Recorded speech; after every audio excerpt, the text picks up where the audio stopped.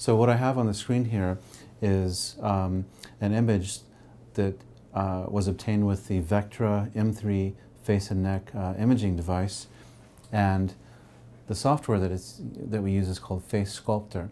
So we can simulate um, the changes that we might make with a rhinoplasty procedure, a chin augmentation procedure, uh, contouring, cheek contouring, uh, where we might add some volume, uh, lower facial contouring where we might remove some volume, uh, etc. So let's do the rhinoplasty first. And so using these uh, boxes over here, we can simulate different things. So over here, this is what's called dorsal height. So she's got a little bit of fullness here. We can simulate uh, bringing that in, lowering the dorsum a little bit. Sometimes we have to do a little bit of supplementation freehand like so. Doesn't need a lot of change here. Um, and you know, her, her chin is fine. We could simulate bringing her neck in a little bit with some neck contouring.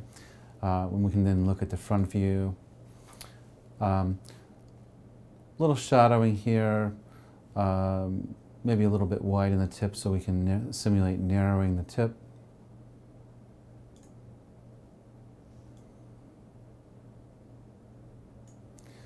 Do a little bit of freehand work.